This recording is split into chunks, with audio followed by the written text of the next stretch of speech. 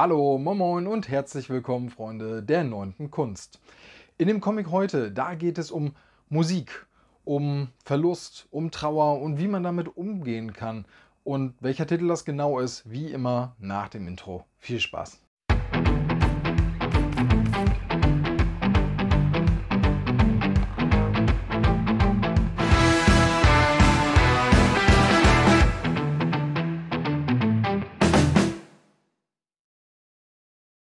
Und um dieses Werk geht es heute. Doomboy vom Crosscult Verlag. Der ist dieses Jahr beim Crosscult Verlag erschienen in einem, ja, so Hardcover-Sonderformat, ne, ähnlich wie das vielleicht der ein oder andere auch von, ich sag jetzt mal 300 von Frank Miller kennt. Da ist dieser Band auch in so einem eher länglichen, äh, queren Format, anstatt in diesem ne, normalen Standardformat, so wie wir das kennen.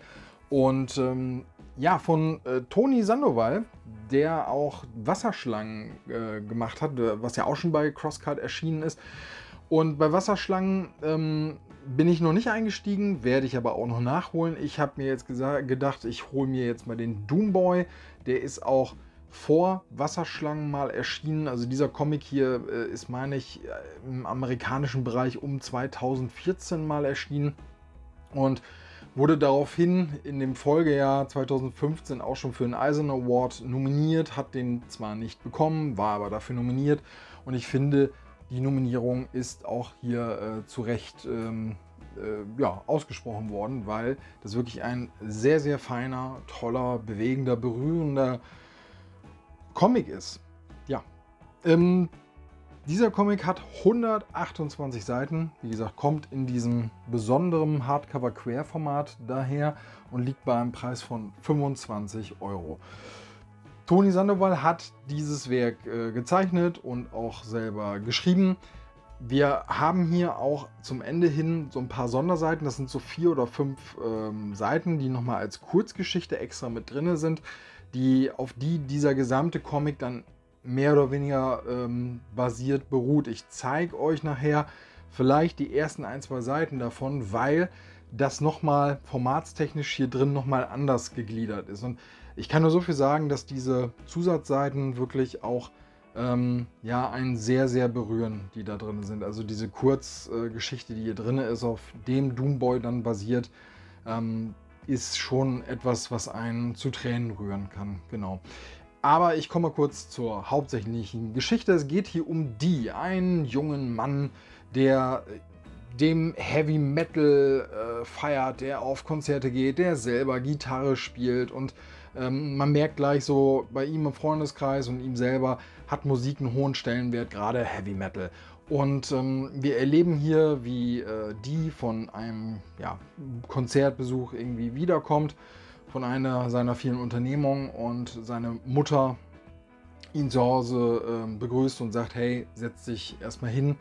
Ähm, deine Freundin Annie äh, ist verstorben und ähm, zu diesem Zeitpunkt so wissen wir noch gar nicht genau, wer das ist, aber es spielt auch gar nicht so eine große Rolle, weil es hier mehr oder weniger darum geht, ähm, wie die ähm, mit diesem Verlust und mit dieser Trauer seiner Freundin, von ja, der er sich gar nicht so richtig verabschieden konnte, beziehungsweise auch ganz gerne noch mit ihr kommunizieren wollte, irgendwie gewisse Worte vielleicht noch loswerden wollte.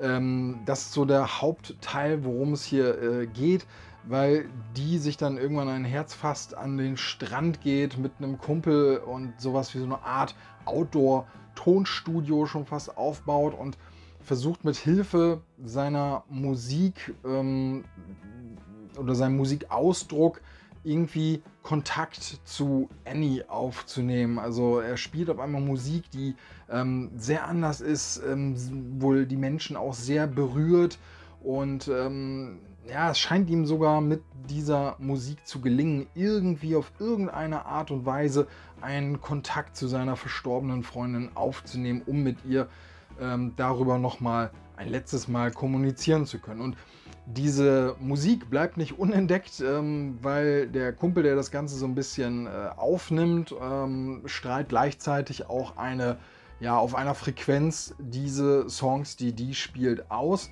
Und ähm, so können alle, die äh, das Radio einschalten, seine Musik hören und ähm, obwohl er es nicht mitbekommt, wird er ein, ja, äh, quasi ein, ein kleiner äh, Star, sowas wie so ein Hype entsteht um ihn. Man nennt ihn dann Doomboy und äh, keiner weiß so wirklich, wer ist denn Doomboy? Wow, was ist das für eine Musik? Man äh, kann nur das Radio an dem den Tag anschalten und dann erklingt einfach diese mega geniale Musik und ähm, ja, viel mehr möchte ich gar nicht zu dieser äh, Story erzählen. Also es ist, wie ich schon erwähnt habe, ähm, teils äh, eine relativ tragische Geschichte, aber die einem irgendwie zeigt, wie man mit, mit Musik, mit, mit, mit Herz irgendwie so mit Trauer und Verlust eben auch umgehen kann, ne? wie man äh, versuchen kann, das Ganze zu verarbeiten, ähm, verpackt in so einer ähm, Story, die um diesen Mythos Doomboy dann entsteht. Und ich äh, war wirklich begeistert. Ich habe den äh, quasi gestern erst gekauft, heute Morgen gelesen und ich habe nur gedacht, so, wow, was für ein tolles Werk. Dazu ist es nicht nur die Geschichte, die dem Ganzen halt wirklich so diese gewisse ähm, Würze oder dieses Fantastische mitbringt, sondern die Fantastik liegt einfach auch in diesem Stil, wie äh, Toni Sandoval diesen Comic so umgesetzt hat. Ne? Also ich zeige euch jetzt einfach mal so ein paar Seiten rein. Ne? Ihr merkt schon, wow, dieses Querformat, Wahnsinn. Äh, wir sehen hier, ähm, wie die einfach so irgendwelche Konzerte besucht. Ne? Auch so dieser, dieser Stil, der sehr ähm, ja, schroff irgendwie ist, würde ich es ausdrücken. Also diese Linienführung ist nicht wirklich fein und klar, sondern eher so ähm, wirklich eher ein bisschen rougher, ein bisschen rauer. Das passt aber auch zu dieser äh, Heavy Metal Thematik, die wir vom Look her wirklich, finde ich, dadurch auch sehr, sehr gut rübergebracht bekommen. Und dann haben wir gleichzeitig einfach dieses feine Thema mit, wie gesagt, Verlust und Trauer, Trauerbewältigung. Das ist ähm, so toll hier drin umgesetzt. Ne? Hier haben wir die Szene, wie er nach Hause kommt und seiner Mutter, seine Mutter ihm dann erzählt, dass seine Freundin so leider nicht mehr unter den Lebenden weilt. Also auch wirklich so ein Ding, wo man dann erstmal schluckt, ne? weil man da vorher gar nichts so mitbekommen hat. Und das ist selbst für einen als Leser wie so ein Schlag in die Magengrube, weil man kann sich das grob vorstellen. Ne? Man selber hat Freunde oder Freundinnen im Freundeskreis ne? und allein wenn man sich da vorstellt, sowas passiert, das ist schon wirklich ähm, ja, tragisch, nicht schön. Und ähm, ich zeige euch jetzt mal gerade noch die mit seinem Kumpel. Die beiden sind dann zusammen am, ja, äh, am Meer und, oder am Strand und bauen dort dann eben dieses Outdoor-Studio auf, ähm, wo die beiden dann zusammen, ähm, genau, hier sehen wir das einmal, wo die beiden dann zusammen musizieren und dies oder Doom Boys äh, tolle Klänge so auf, auf die äh, Ohren der Radiohörer bringen. Also das, also wirklich, äh, ich fand diesen Comic so toll. Ähm, ich muss mal gerade kurz danach gucken. Es gibt hier so gewisse, ähm, es gibt hier so gewisse Seiten, wo man merkt, wie, genau, hier haben wir das, mit was für einer Fantastik das Ganze so daherkommt. Ne? Wenn man hier diesen Ausdruck äh, miterlebt, wie, wie sich wohl jetzt gerade was anhört. Ne? Diese, diese Klänge, die, diese, diese ausdrucksstarken Zeichnungen, die hier einhergehen, das ist so toll gemacht ne? und ist so fast schon so träumerisch irgendwie auch. Also ähm, ich war wirklich ganz, ganz stark davon begeistert. Es gibt auch hier eine tolle Szene noch drin. Ich hoffe, ich finde die jetzt hier nochmal. Ähm, da geht die am Strand und es tobt ein Gewitter. Ja, hier habe ich es. Und der Ausdruck, wie, wie dieses Gewitter, also ja, mit seiner gesamten geballten Kraft aufeinander wirkt, dass das fast ist wie so eine Art ähm, Heer, was ein anderes Heer bekämpft. Das äh, ist hier auch wirklich mega, mega stark rübergebracht. Ne? Also für jeden, der ähm, auf sehr, sehr äh, schroffe, aber auch starke Bildsprache steht, da ist wirklich hier eine Menge drin geboten und gerade in diesem Querformat. Ne, man äh, hat immer ein ganz, ganz tolles ähm, Feeling so beim Seitenumblättern. Ich zeige euch jetzt nochmal äh, die ersten zwei Seiten von dieser oder vielleicht auch nur die erste Seite. Ja, vielleicht auch nur, vielleicht auch nur die erste Seite von dieser Sonderstory. Und zwar muss man dann den Band so halten um den zu lesen. Und die nächsten Seiten sind dann, sind dann auch so. Ne?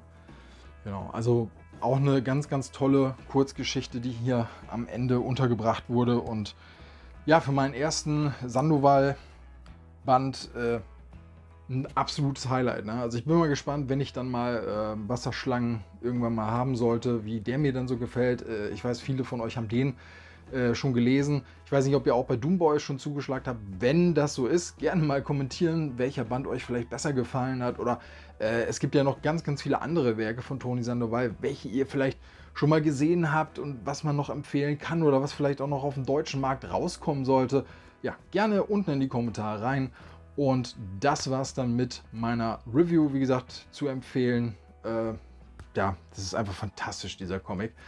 Ich hoffe, euch hat das Video gefallen. Wenn das der Fall gewesen sein sollte, lasst gern einen Like da, abonniert den Kanal, erzählt es irgendwelchen anderen Leuten so, hey, guck mal da, der Typ, der quatscht über äh, die neunte Kunst. Ähm, und ja, würde mich freuen, wenn ihr auch beim nächsten Mal wieder einschaltet. Ich wünsche euch jetzt ganz viel Spaß beim Comics und Manga lesen. Macht's gut, haut rein, euer Ingo. Ciao.